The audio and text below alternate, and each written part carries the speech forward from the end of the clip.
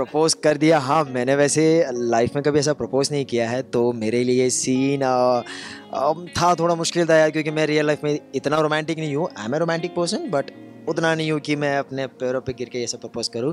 But being an actor हमें perform करना पड़ता है तो सीन काफ़ी अच्छा लिखा गया मुझे मज़ा भी आया करने में। एंड आई एम श्योर कि नेक्स्ट टाइम मैं शायद ऐसे ही कुछ प्रपोज करूँगा।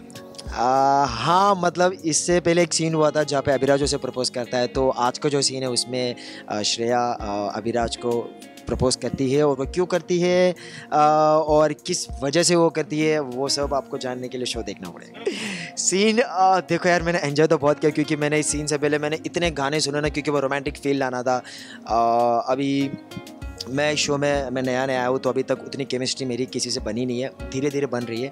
तो कहते हैं ना कि बिना केमिस्ट्री आपको वो सीन एक रोमांटिक सीन आपको परफॉर्म करना है आपको घुटने पे जाना है उसे प्रपोज करना है कि मुझसे शादी करोगी ये एंड ऑल तो हाँ थोड़ा मुश्किल है बट मेरे को एक्टर्स बहुत अच्छे हैं बहुत सपोर्टिव है मज़ा आता है उनके साथ सारे सीन मज़ा आते हैं। अच्छा अच्छा ओके सीन में आ, सीन में वो क्योंकि आ, मेरे आने से पहले वैभव और श्री के बीच में श्रेया के बीच में ना कुछ बातचीत होती है। वो क्या बातचीत होती है वो मुझे भी नहीं पता।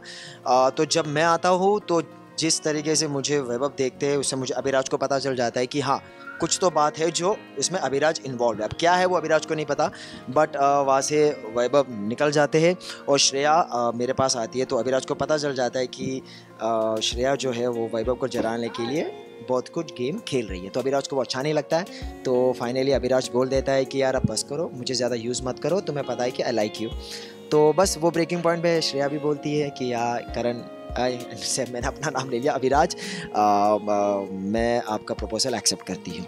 तो क्या है क्यों है वो अभी आई कान से कि ये अभी तक ये कुछ लव ट्रायंगल होने वाला है क्योंकि ये मुझे भी नहीं पता है। आ, तो जानने के लिए आप भी शो देखते रहिए और जानने के लिए मैं भी अगले स्क्रीन प्ले का वेट करता रहता हूँ। Thank you